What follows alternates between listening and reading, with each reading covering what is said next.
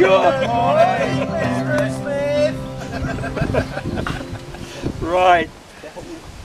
Tiny little bit of history as far as I know it uh, first. History is just about our interpretation of the tiny little bits that we know and, and we don't know much about the history of spoons. Uh, they've been around like forever for cooking, ladles and that sort of thing. Um, we probably use shells and gourds and anything that we could scoop food up with. Uh, but as far as artifacts, historical artifacts are concerned, spoons seem to be a fairly modern invention. If we go back to, uh, what the hell was it? Um, the big archery do over in France. Agincourt, thank you very much.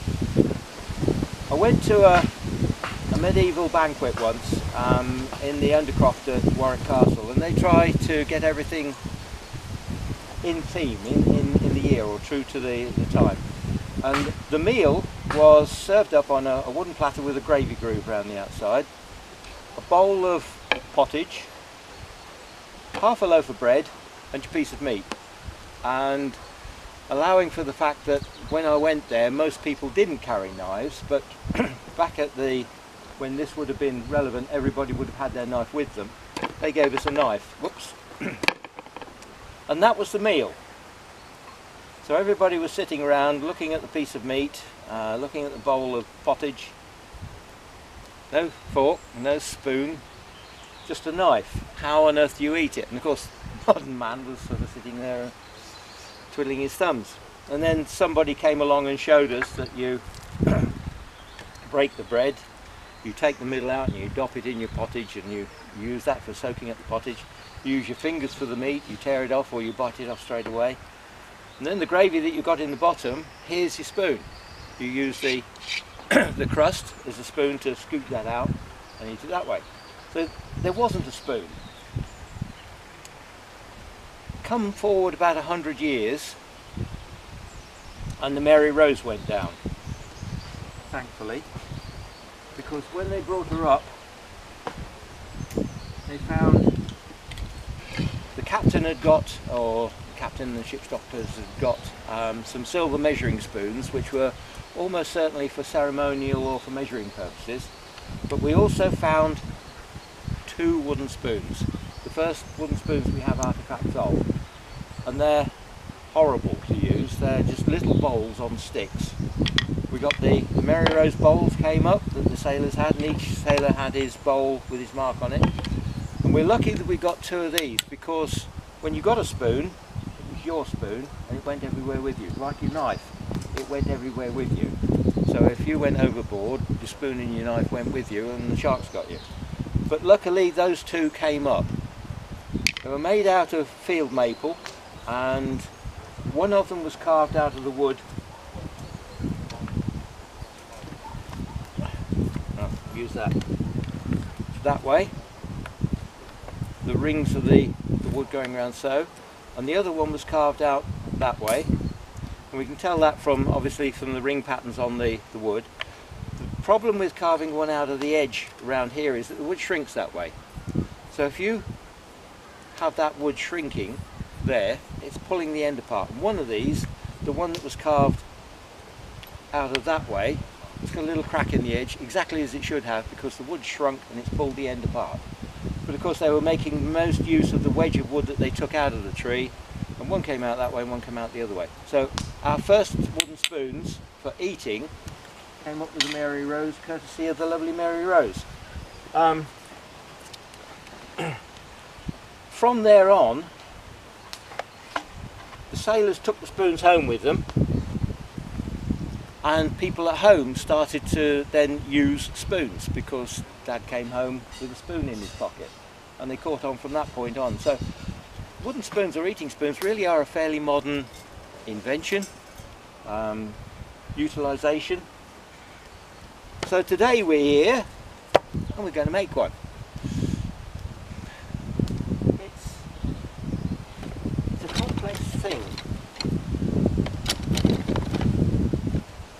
Why carve a wooden spoon? when you look at the thing, it's curves all over the place. It's not just a flat, even that one's not flat, but your, your cooking spoons are typically just a flat piece of wood with a gouge pulled out of it. but the eating spoon, it's got a crook in the handle, so that as you're holding it, as you would normally, the bowl is flat to you. So to get that, it's actually got to be crooked up. If you have a bowl that is dead flat, then well, you, you can't get it into the bowl because it's it's flat. You know, you're up at an angle, and as you try and scoop it out, as it comes out, everything's running off before you manage to get it out level. So it's a it's a three-dimensional shape, and that means that the grain in that wood is going all over. The well, the grain can be straight, but where you're cutting, cutting here, the grain's coming out. You're cutting there, the grain's coming out that way. You're cutting on the back, the grain's going that way and that way. On the bowl, it, the grain's going everywhere. So if you can master carving a spoon, you can carve anything. So it's just a, a damn good apprenticed's uh, challenge. If you can do that, then literally you're on your way to being able to carve anything. And the anything could be a mega crochet hook, a knitting needle, a tent peg, anything you like. Once you get into the mentality of, I can do that, I can carve one of those, all you need is the tools, the techniques and some timber.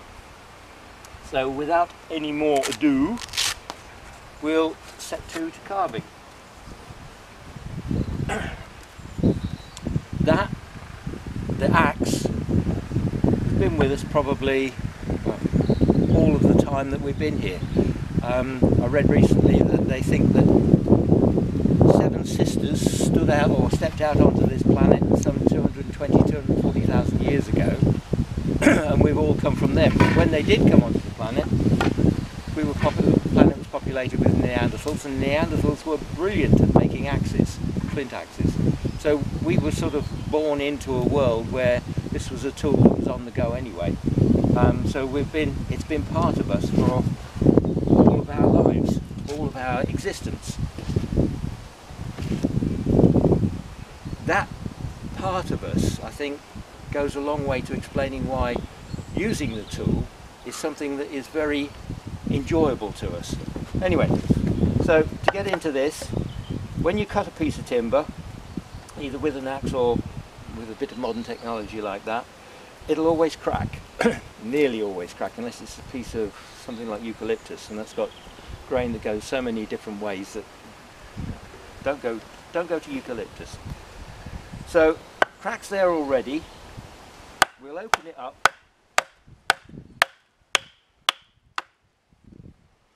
Safety, that axe will go through you can go through wood, it's going to go through you quite easily. So we don't want the axe flying out of the piece of wood into your leg, into your hand or anywhere else. So we've split the wood down there. The grain in that wood runs up and down the tree. It runs around the outside and when it shrinks, as I said earlier on, it likes to shrink this way. It doesn't shrink very much that way It also doesn't shrink very much that way. So we're going to carve our spoon out of that wedge there, or actually, uh, yep, we'll take it out of there. We're going to make a wedge.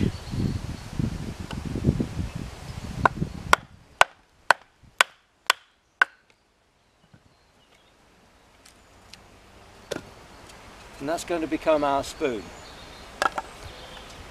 As it stands, it's too thick on one edge and it's too thin on the other. So we've got to take off.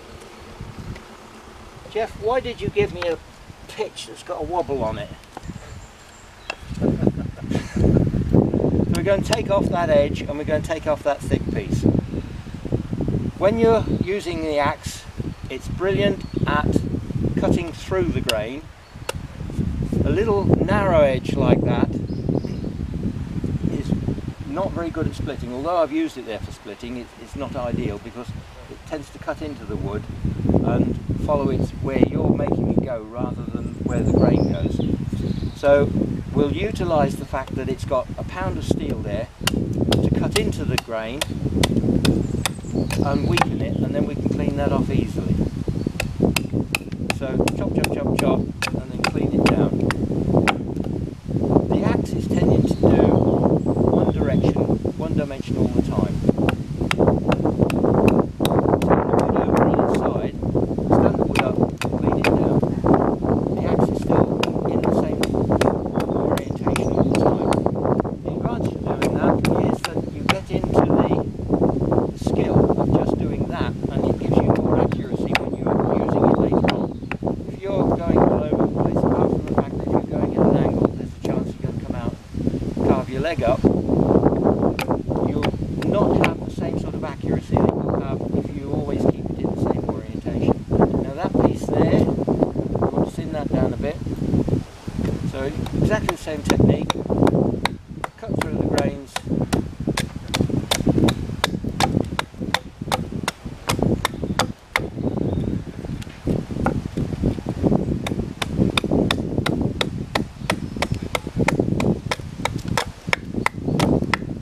And there you'll see sort of planing with the chopper. That's about where we're going to start off with. So we've gone from a tree to a billet. Now just so that you can see where I'm carving, put a template on here.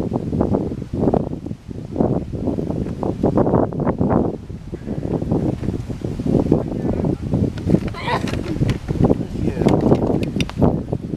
Pneumonia next. Bless you.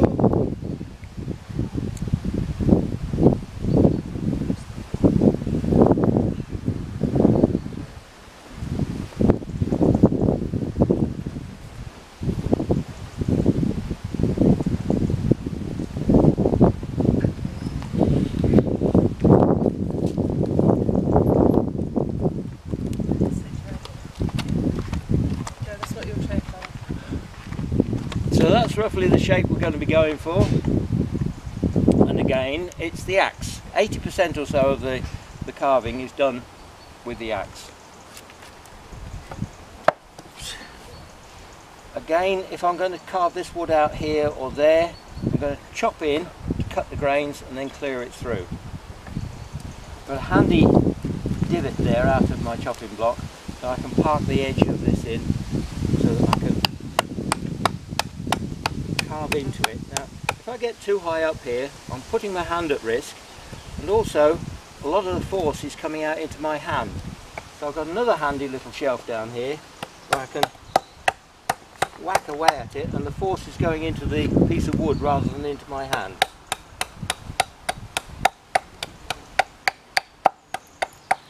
You see what I mean about getting more precision if you're used to just doing that? You're much more likely to be precise in your cutting rather than if you're going all over the place.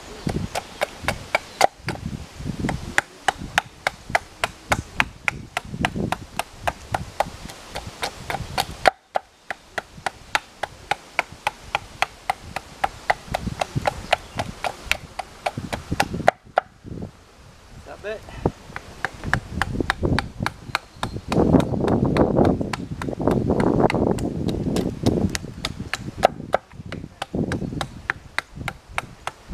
Now, if this was seasoned wood, I wouldn't be able to go this speed.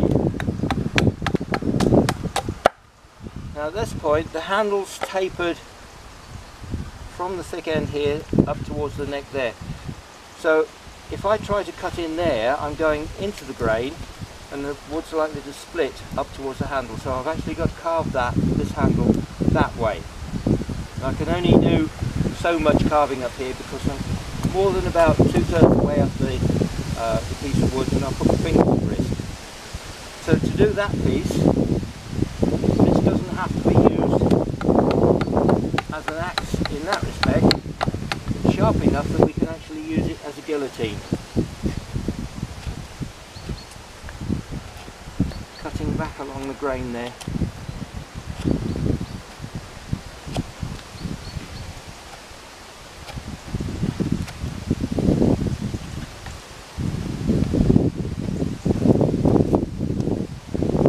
into this neck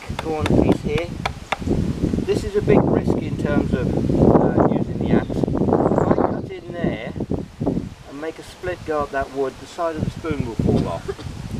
So I've got to be very careful cutting in there. You see how my hand has gone from there, where I was swinging it to cut the big cuts, up to there. It shades off, if you're going to point at something, you've got quite a lot of accuracy. Here, I've got less accuracy because there's more possibility of movement there from where my hand wants something to go. There, that's even longer, and this thing, the amount of accuracy you've got on the end there is way, way down. So by sliding my hand right up around the uh, blade itself, I'm more precise about those cuts. By putting a cut that way in the top end here, I can make sure that any splits stopped at this point here.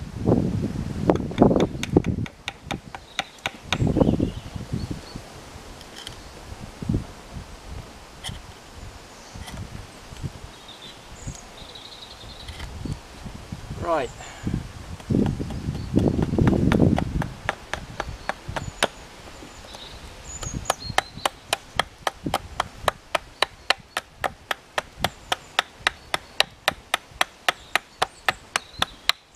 Almost using it like a plane, following the edge round.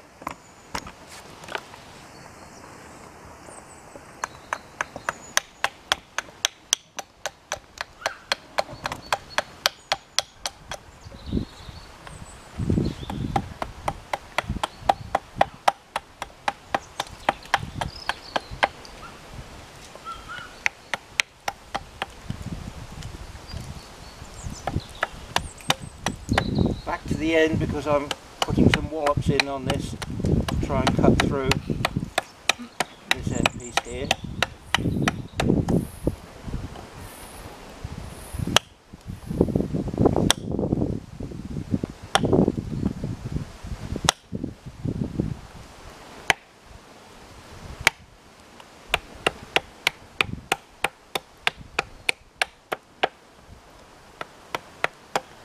We're starting to look like spoon that you saw on the television by the lady that was fed up with society and was sitting on a chemical closet in the woods carving wooden spoons. Ouch. It's an ugly looking thing at the moment, but it's a thing of beauty inside there somewhere.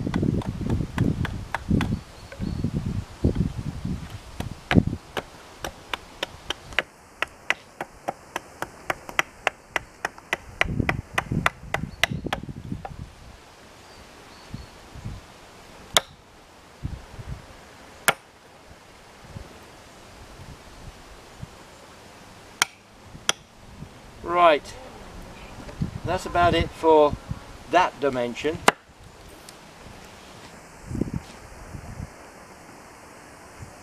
Now onto the side we'll, we'll mark out the, the third dimension.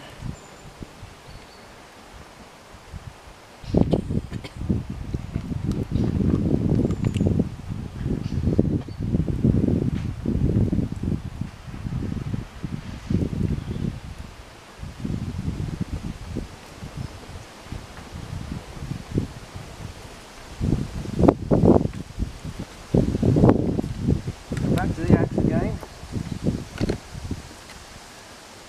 That piece of the end, the back of the spoon, we're going to leave on right to the end because if I carve that off first and then I start carving the inside of the bowl, that's a very weak point in, in the wet wood and if I'm carving away here I'm likely to just snap that end straight off. So I'll leave that thick to the very last moment and at the moment I'll carve out the back of the handle, the dip along the front of the handle and the, the dip of the bowl itself. Same technique except now this wood's a lot thinner and we can be a lot more gentle in cutting it otherwise we're likely to cut straight through it. Exactly the same technique using the, the weight of that steel head to cut through the grains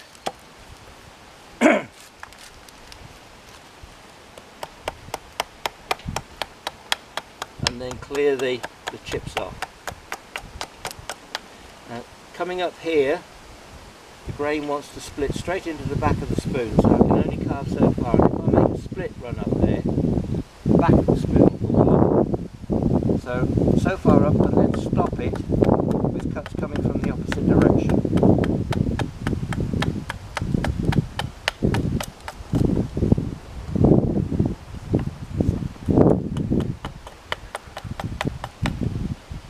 Right, so we've got a bit of a bend on the back of the spoon now. The top of the handle goes round.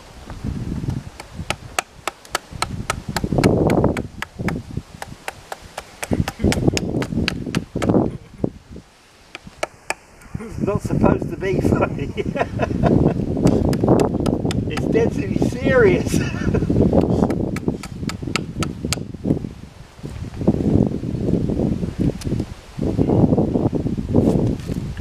Right.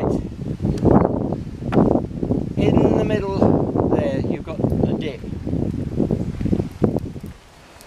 You shouldn't be able to take it out with an axe, but you can. Lay it flat on the chopper, on the chopping block, and just chop it straight across.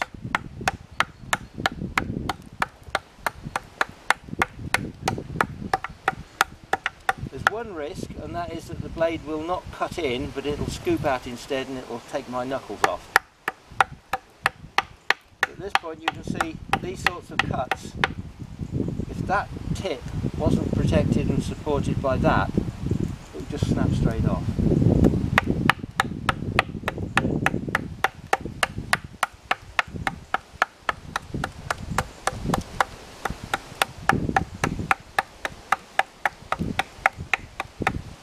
Right, not far off, ugly as sin.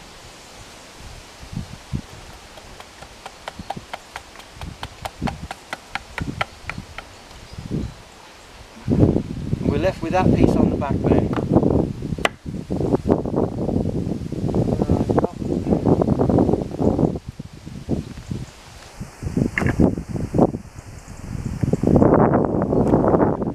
would normally only come in when you're actually taking the bowl out, but it's very handy at this stage, all these loose bits, just to cut across, and take them off.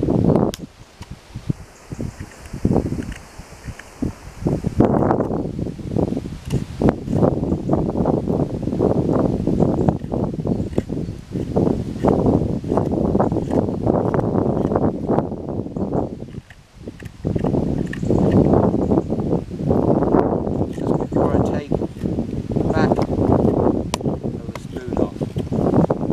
That piece round there. Going back to the axe.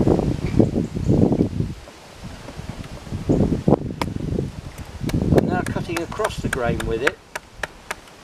And I'm only going to take it so far because yet again, if I come out the back here, I'll just break the back of the spoon off.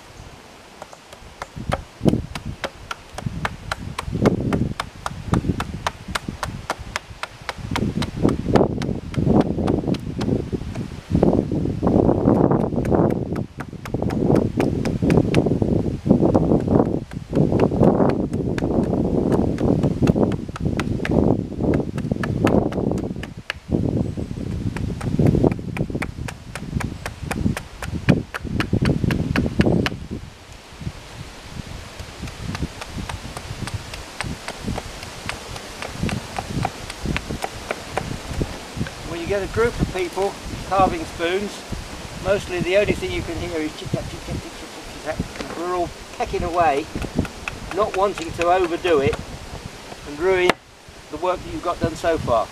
So, from tree trunk to spoon outline, very roughly outlined, with the axe.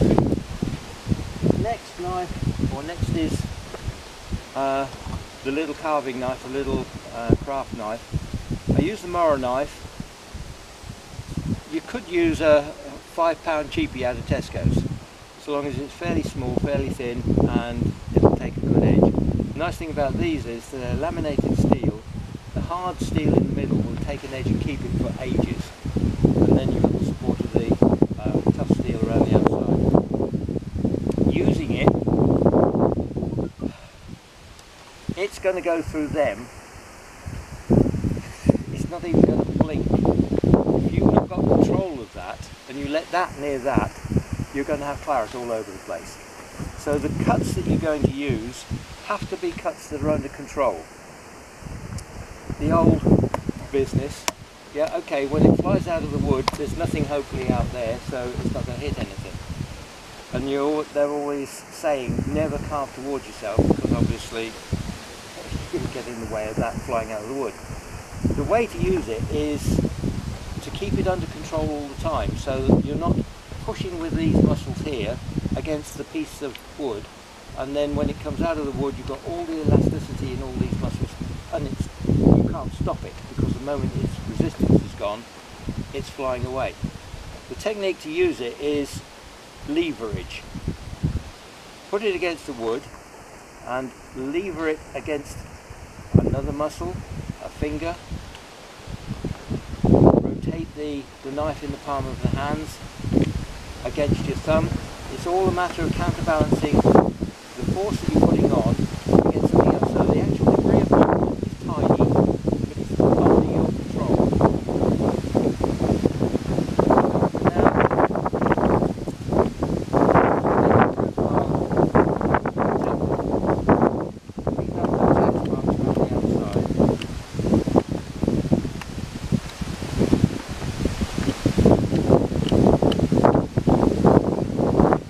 Another one, lever it against your thumb and rotate your elbow. So again, there's there's no muscle um, elasticity there. It's just the little bit of uh, elasticity in your thumb, basically, you're going to be using. Now, the most popular one is the one that defies all rules. Never because that's exactly what we're going to do now. To brace the, the spoon against the sternum. To use those fingers there as my lever backstop. Put the back of the blade against those fingers and then rotate again with my elbow. So even though I'm cutting towards myself, there's nothing, there's no memory afterwards. There's- When the cut stops, it can't go anywhere because the force is coming from those fingers so I can make very fine cuts. And the nice thing about that blade is that I can make rotational cuts. So not only am I pushing it forwards, I can slide it through the wood and I can rotate it so that it can follow that curve there without any problems at all. A slicing cut lets it come through there easily and you can take those nasty old axe marks off. So spoon carving then turns into sort of a ballet of how to hold it, the spoon, how to hold the knife, how to cut, where to cut, following the grain. The grain keeps going round and round and round and round. So when you're watching somebody carving a spoon, they're forever turning the damn thing around, coming in a different way, a different way, back that way. Trying to balance on the spoon, using different cuts. Now there, even though my thumb is up there at the end of the cut, my thumb's bracing my hand in the right place. My knuckles are being pushed by those fingers, and my fingers here are doing the rotational bit to cut in there. And I'm safe. It's not going to go anywhere, it's not going to fly out of the wood at the end of the cut when the wood lets go. And I can make that controlled cut.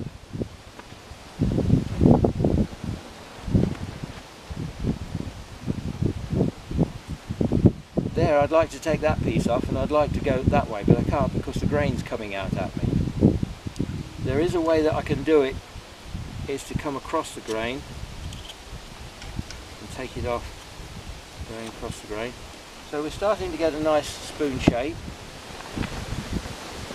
The knob there, you can carve that down with a chest cut. That's braced firmly against my chest what I'm doing is I'm drawing the knife through the wood but when it comes out of the wood it isn't going anywhere because it's actually braced against me.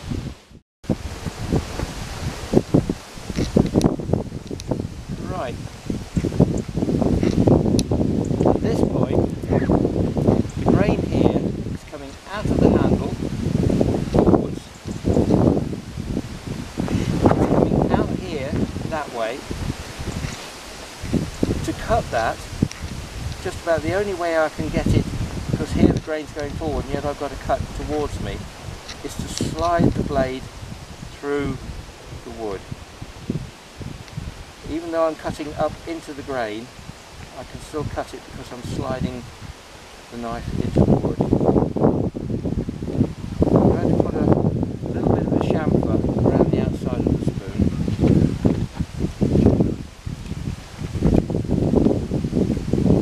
And that's just to give a bit more strength to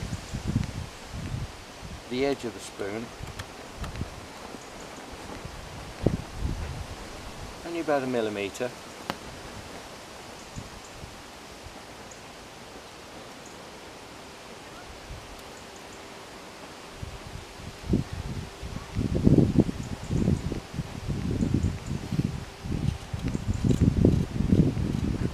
that one across the grain is always easy when you're cutting the wood across the grain. It's not fighting you at all. It's important you keep that thumb below the edge of the wood because as it comes off the back edge, it slips off. You don't want your thumb to be there. Another thing to watch out for is if you come off this back edge, if you haven't got the chamfer cut, that edge is very fragile and it can just snap straight off. Now at that point, the grain's coming out the top of the spoon, so I've got to turn around, and even though look, it looks as if I'm cutting back into the grain, which I am, I'm actually cutting with the grain that way.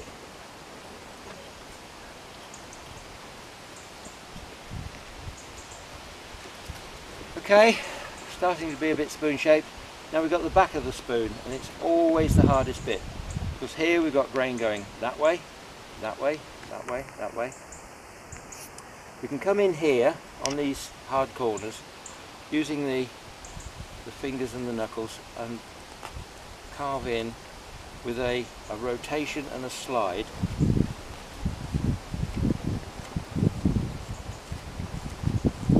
Nibbling away at it, both sides.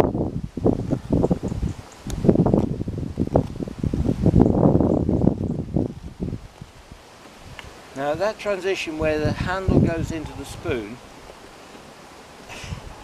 it's an absolute heartbreak where if you haven't got enough meat here to translate, translate from the handle into the bowl of the spoon, it will just snap off straight through there and you're left with a stick and the front end of the spoon. Not nice for that to happen at all when you've spent hours and hours and hours carving your, your wonderful piece of wood and it breaks off there. So to uh, overcome that, although it might be narrow there, you make it wide there. And then that width translates into the back of the spoon and spreads out across the bowl. And once you've got to about halfway up the spoon with that width, then you can be as thin as you like around the top edge because you've got the forces then into the bowl. It's a bit like an egg. It's very strong once you've got into the round of thing. Now taking off the sides, a thumb push, a rotate of the hand, bracing it, levering it against your thumb.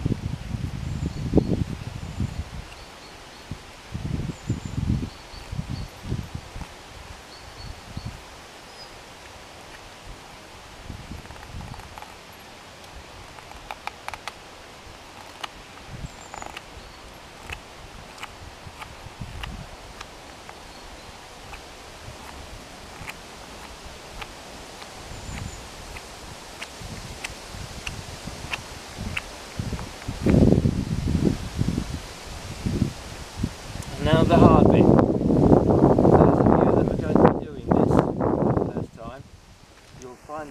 nightmare. Holding the spoon, which is now getting quite small, and then cutting across it to get this back off to the right level is hard because the grain's fighting you all the time.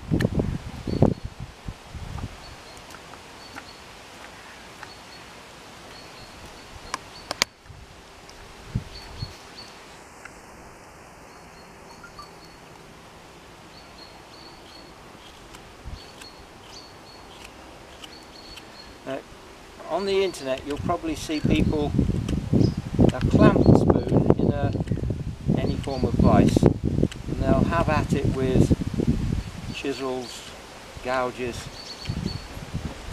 and there it is, it's there for them to hack at. Is it spoon carving? Well, it's not freehand spoon carving, put it that way. This is just using you and the knife um, I call it freehand carving. Um,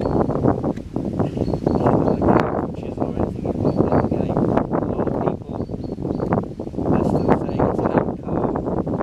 If you've clapped it into a vice and used a gouge or a chisel on it.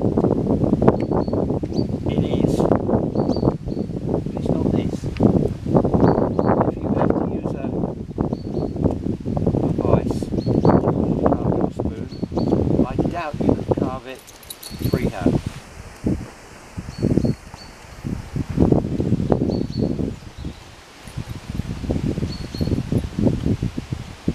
So although I thinned that piece of wood down quite thin when I cut it out initially, see I'm still taking meat off the back of the spoon there.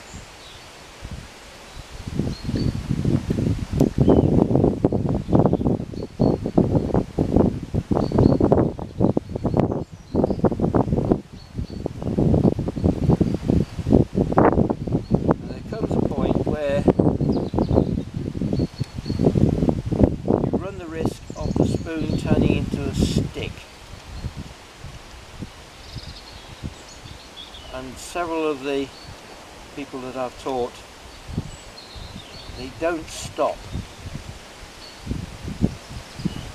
There is a point at which you've got to say, okay, I could carry on pulling at this and refining it, taking these last shavings out for the next few hours. I'm not going to. It's now time for the bowl. Crook knife. And it's got even smaller now, even harder to hold. And one of the favourite holds again is going to be using those fingers. Holding it finger and thumb, bracing it against the palm of your hand and using the leverage here on those. Now, when we get down towards the bottom of the bowl, we're bracing it into the palm of the hand. The big thing to worry about, and you need to worry about it, is when that gets thin enough, if you cut too deep, it's pressed against the palm of your hand, you're going to go straight through the bottom of the bowl, straight through the palm of your hand. Now, if I cut myself with, or when I cut myself with that, because if you start carving, you are going to cut yourself. End of. Fact.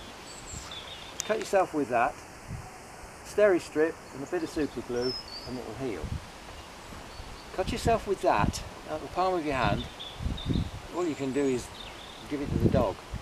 yeah, it's not going to glue back in again, and you've got a nasty hole in the palm of your hand. So, special care when you get down to there. But in here, grains are going every which way, coming out back and forth, and you've got to cut a, a bowl out of it. So, finger and thumb, those fingers, and we're going to rotate the elbow, rotate the tool,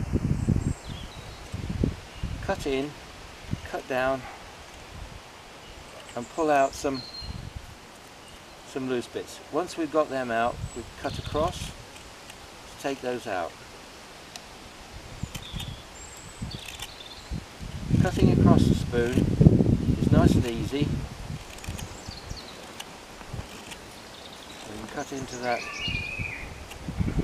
shape nice and easy. The other end, brace it against your chest, use those fingers again and a, a rotation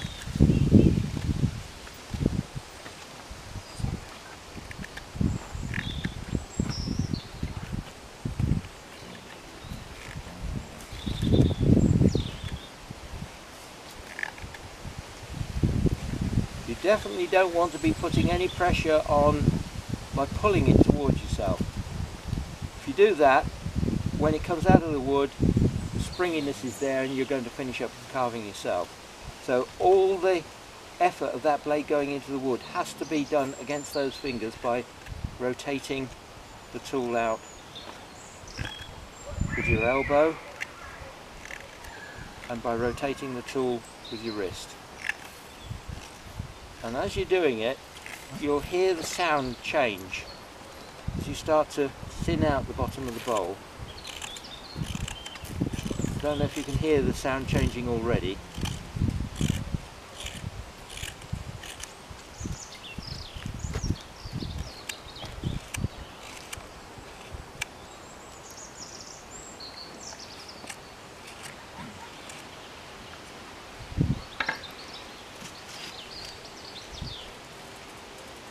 Not thin enough yet because the light's not going through. When it's thin enough, the light will go through the wood and it will sound sound completely different. It sounds hollow.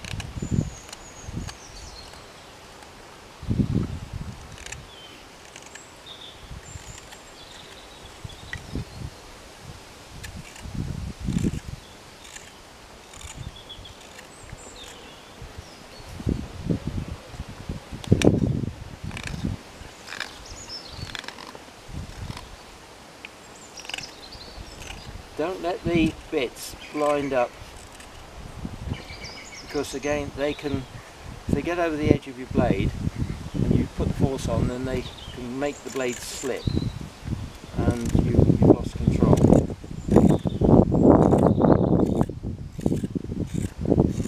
Again there you see coming across the grain making lots of lovely small smooth shavings can't do that if you've got a blunt blade. You will scrape the wood, you'll feather it all up, but you won't be able to cut across the grain like that. And it's, it's a lovely way of pulling that bowl out nice and gently.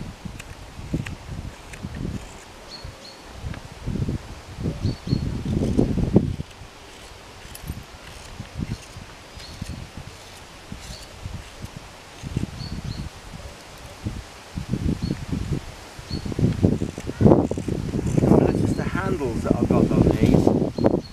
The blades are made by a guy called, who you probably- most of you will know, is Robin Wood. He actually made that, that bowl, homemade. He's got a knife maker in Sheffield um, that turns these blades out for him. Made got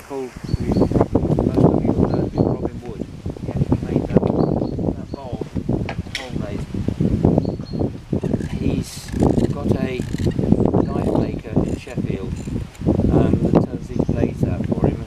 You can actually buy the blades mounted in handles from him, but he also sells just the blades, and then you can mount it in whatever handle you want. Now, for my hands, that handle is ideal because gives me a good grip and gives me the opportunity of getting that rotation. I've got another one that I bought first.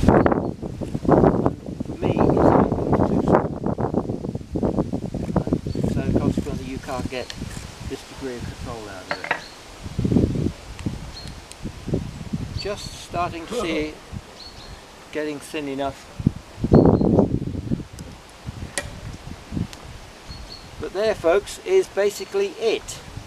That's tools, technique and timber.